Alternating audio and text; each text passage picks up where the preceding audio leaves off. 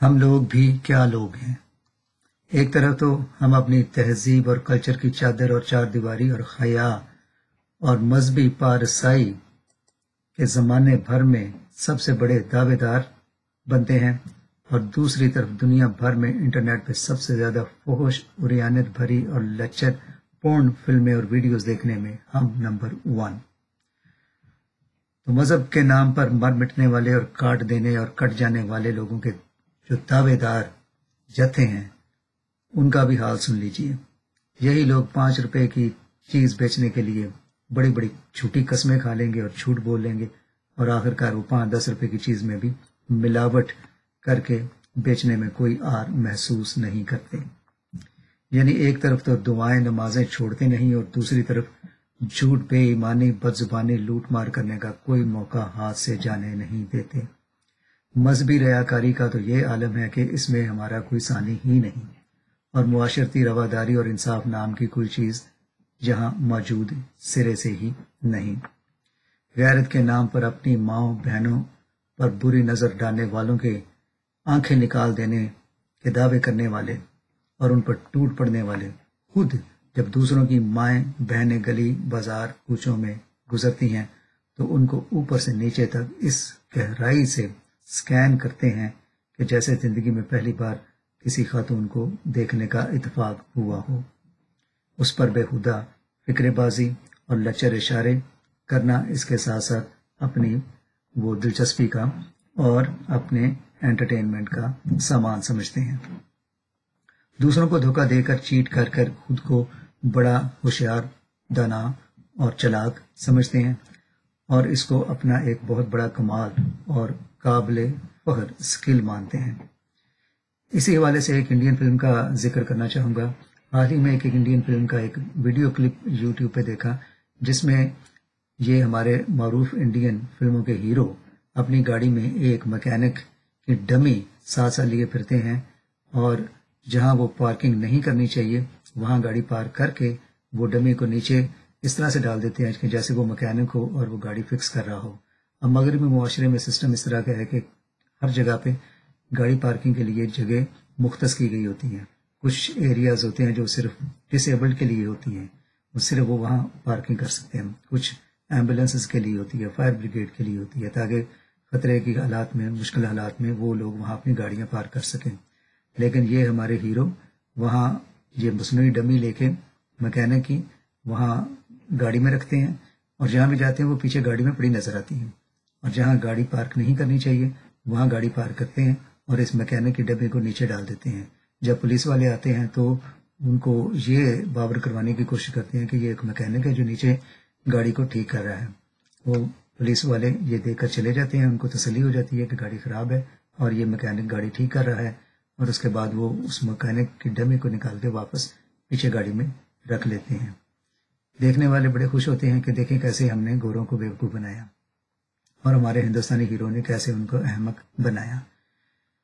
इस चीज़ों पे हम फख्र करते हैं। ये हमारे लिए बड़ी काबिल फ़ख्र और बड़ी ही सताइश की चीज़ है, जिससे हम खुश होते हैं महसूस होते हैं और बाहर के मुल्कों के जो उनके निज़ाम है, सिस्टम्स हैं, उनका मज़ाक उड़ा के या उनको चीट करके खुद को अपने आप को बड़ा दना और हीरो मानते हैं।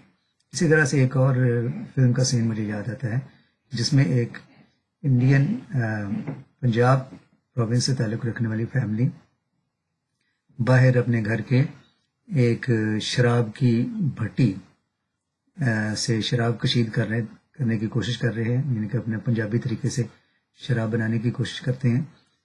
तो जब पुलिस वाले आते हैं तो एक छोटे बच्चे को जल्दी जल्दी बुला के ये कहते हैं कि तू ये कह कि ये मुझे स्कूल की तरफ़ से होमवर्क मिला है और ये मैं खुद तजर्बा कर रहा हूँ। पुलिस वाले उस बच्चे से बात करते हैं और वो मुतमिन होकर चले जाते हैं। अब इसमें दो बातें। एक तो बच्चे को झूठ बोलने पे माइल किया गया कि तू पुलिस वालों को झूठ बोल के बता कि ये तेरा होमवर्क है और तू कोई तजर्बा कर रहा है। बच्चे ने झूठ बोलना सीखा। हुक्म जो कानून की अमलदारी है, उसकी खिलाफ वर्जी करना सीखा। पुलिस वालों के सामने झूठ बोला। निज़ाम को सिस्टम को चीट करना सीखा। लेकिन जब वो चले गए तो ये सारे पीछे से हमारे जो पंजाबी भाई हैं बड़े खुश हुए और हंसने लगे कि कैसे इनको बेवकूफ़ बनाया है। अब सोचिए कि है इसमें कोई अकल की बात या इसमें कोई बड़ाई की बात या इसमें कोई बड़े फख्र की बात। लेकिन हमारे लोगों के लिए ये बहुत फख्र की बड़ी बात है। अब चलते हैं अपने शादी ब्याह की रस्म रवाज पर। शादी ब्याह पे हम पागलों की तरह ऐसा पैसा उजाड़ते हैं और खर्च करते हैं। दूसरों से पैसे मांग के उधार, कर्ज लेके शादियों पे पैसा खर्च करते हैं और फिर शादियों में वही पैसा नोटों की सूरत में बारिश करके नोटों की उड़ाते हैं और दूल्हे पे और दुल्हन पे और नाचने वालों पे और भंगड़े डालने वालों पे वो पैसे लुटाए जाते हैं। वही पैसे जो कि किसी से कर्ज लेके इस्तेमाल किए जा रहे होते हैं। तो ये हमारी बड़ी, क्या कहते हैं, ये कदरें हैं जिनके ऊपर हम बड़ा फख्र करते हैं। ओवरसीज पाकिस्तानियों का हाल सुन लें। जिन जिन इलाकों में पाकिस्तानी, हिंदुस्तानी या साउथ ईस्ट एशिया या साउथ एशिया के लोग हैं, आप अंदाज़ा करें कि वहाँ वहाँ ही गंदगी का वो आलम है ऐसे नहीं महसूस होता कि जैसे हम किसी बाहर के मुल्क में लगता है, जैसे अपने ही वतन में कहीं अपने ही किसी गली मोहल्ले में फिर रहे हैं। यानी कि वहाँ पहुँचने का बड़ा शौक होता है और वहाँ पहुँच उन इलाकों को, उन जगहों को वैसे ही बना देते हैं जहाँ से खुद वापस आए होते हैं। जिन इलाकों में हमारे लोग रहते हैं, वो गंदगी के ढेर है। वहाँ गटर भी बंद नज़र आते हैं। कागज़ इधर उधर बिखरे हुए और शॉपिंग बैग्स भी हर जगह पे उड़ते नज़र आएँगे। इसके ऊपर हम लोगों के कमाल भी ऐसे हैं कि सोचने वाला हैरान रह जाता है कि ये यहाँ पहुँच के भी अपनी हरकतों से बाज नहीं है। जाली इंश्योरेंस क्लेम्स करना कंपनियों को और हुकूमत को धोखा देने में टैक्स चोरी करने में कोई हमारा आसानी नहीं। ऐसे ऐसे तरीके अख्तियार करते हैं कि गोरों की भी अकल वहाँ तक नहीं पहुँच सकती। अंग्रेज़ों के बनाए हुए समाजी और फलाही प्रोग्राम जो लोगों के फ़ायदे के लिए होते हैं, उनका भरपूर नाजायज फ़ायदा उठाना और उनको चीट करके अपने फ़ायदे के लिए इस्तेमाल करना कोई हमारे लोगों से सीखे। लेकिन दूसरी तरफ़ अपने मजहबी रस्म और रिवाज को छोड़ना तो सवाल ही नहीं पैदा होता। ये सब कुछ करने के बावजूद मंदिर भी जाते हैं, मस्जिद भी जाते हैं, चर्च भी जाते हैं और अपने मजहबी रसूम की पूरी तरह से बाकायदगी से अदायगी करते हैं। अपने चर्चों की हाल ले लें। यहाँ जितने भी चर्च हैं दो दो तीन तीन लोग अलग अलग अपने अपने चर्च बना के बैठे हुए हैं। चर्च बिल्कुल सोशल क्लब बन चुके हैं। चर्चेज में कोई रूहानियत का मकसद ही नहीं, सिर्फ़ लोगों को मिलना खाना पीना और एक दूसरे की गिबत करना, बदगोइयाँ करना। एक पादरी के चर्च गए वो अच्छा नहीं लगा तो दूसरे के चले गए फिर उसकी बुराई की, फिर उधर से तीसरे में चले गए, फिर उसकी बुराई की। और पादरियों की ही एक दूसरे के सामने क्लास लेते रहते हैं। कभी पादरी के किरदार पे, कभी उसके कपड़ों पे, कभी उसके अदायगी पे, कभी उसके किसी बात का चर्चा करके हँसी मज़ाक करते हैं। ऊपर से पादरी भी ऐसे, उनको भी मालूम है कि लोगों को कैसे बेवकूफ़ बनाना है और लोग कैसे उनको पसंद करते हैं। इसलिए पादरी भी ऐसे ऐसे ड्रामेबाजियाँ और ऐसे ऐसे तरीके से लोगों को बेवकूफ़ बनाने के काम करते हैं कि स्टेज पे खड़े होकर वो वो आ, सीन करते हैं जो कि जैसे कोई अदाकार हो। और अगर कोई शरीफ आदमी कोई पादरी महजब तरीके से भी अकल की दनाई की कलाम की गहराई में कोई बात करे तो उसको बिल्कुल ही नापसंद किया जाता है और कहा जाता है कि ये पादरी तो बिल्कुल ही बेकार है और इसकी बात में कोई मज़ा नहीं है। तो ये हमारे चर्चेस का हाल है। और इसके अलावा चर्चेस में बड़ी बड़ी ऊँची ऊँची दुआएँ करना और बड़े बड़े ऊँचे ऊँचे बुलंद बाम दावे करना और खुदा का नाम बिल्कुल बेफायदा लेना, ये हमारे चर्चेस की आम सी बात है। बात बात में praise the Lord hallelujah amen और ऐसे जो ड्रामेबाजियाँ करते हैं, उनको बहुत बड़ा पादरी और बहुत बड़ा आलम और अलामा समझा जाता है। कन्वेंशनें क्या होती हैं? बस हँसी खेल का और मज़ाक का एक मौका होता है। खातन के लिए कपड़े पहन के एक दूसरे की तारीफ़ करना और खाना पीना और मर्दों के लिए एक दूसरे की गिबत करना, खाना पीना और एक दूसरे के साथ हँसी मज़ाक करना। जो मनाद आते हैं, वो भी हज़ारों डॉलर इकट्ठे करके चलते बनते हैं। और लोग पी के खुश हो जाते हैं। तो इस तरह से खुदा का बड़ा नाम ले लिया और खुदा के नाम की बड़ी खिदमत कर ली।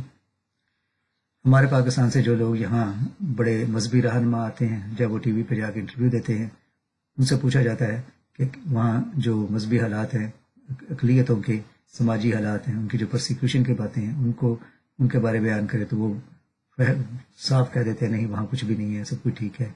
और यूँ अपनी कौम को यहाँ आके बिल्कुल ही वो मिस रिप्रेजेंट करते हैं।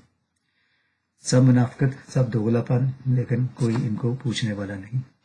फिर भी लोग इनके पीछे पीछे हैं, लोग इनको बड़ा खुदा का बंदा और खुदा का बहुत बड़ा खादम समझते हैं। हमारे मुल्कों से, खासतौर पर हिंदुस्तान, पाकिस्तान में से और दूसरे इलाकों में से आके यहाँ लोग ये शिकवा करते हैं कि हमारे साथ बड़ी नस्ल परस्ती होती है हम अपने मुल्कों से हैं, या हम हमारे साथ ये सलूक अच्छा नहीं किया जाता, वो अच्छा सलूक नहीं किया जाता। लेकिन भूल जाते हैं कि अपने मुल्कों में ये दूसरों के साथ कैसा सलूक करते हैं। एक हिंदुस्तानी खातून, एक मीटिंग में मेरे साथ बैठी हुई थी और कह रही थी कि मेरे साथ यहाँ बहुत रेसिज्म हुआ मेरे साथ यहाँ ये बहुत होता है। लेकिन ये भूल जाते हैं कि जिस मुल्क से वो आए हैं वहाँ के इंसानों को ही क्लासों में डिवाइड किया हुआ है। जातों में डिवाइड किया हुआ है। वो हिंदुस्तान में भी है, पाकिस्तान में भी है। और यहाँ आके दावा करना कि हमारे साथ नस्ल परस्ती होती है। अपने मुल्क में इंसानों के साथ कैसा सलूक किया जाता है, ये इनको याद नहीं रहता। जन्नत और दोजख के चक्कर में पड़े रहते हैं और इसके अलावा हमें और कोई चीज़ नज़र ही नहीं आती। जन्नत और दोजा के चक्कर में इस दुनिया को ही जहन्नम बना के रख दिया है। छोटे बच्चों को कभी ये नहीं सिखाया जाता कि ये नन्हे मासूम परिंदे और जानवर जो है, इनके साथ कैसा सलूक करना है। उन पर कोई पत्थर मारे और उनको हर्ट करने की कोशिश किया जाए, करे तो उसको हम बड़ा हँसी मज़ाक का मकाम समझते हैं। एक और हमारी अजीब नफसियात है, जब कोई गिरता है, जब कोई किसी मुश्किल में होता है तो हमें बड़ा अच्छा लगता है। कोई हादसे में गिरा है तो हम भागते हैं देखने के लिए और उसके बाद में जाके वहाँ खूब हँसते हैं, जैसे कोई मज़ाक की बात हो। मदद करने की बजाय सबसे पहले तो हमारी कोई गिरे तो हँसी छूट जाती है। ये भी हमारी अजीब नफसियात है।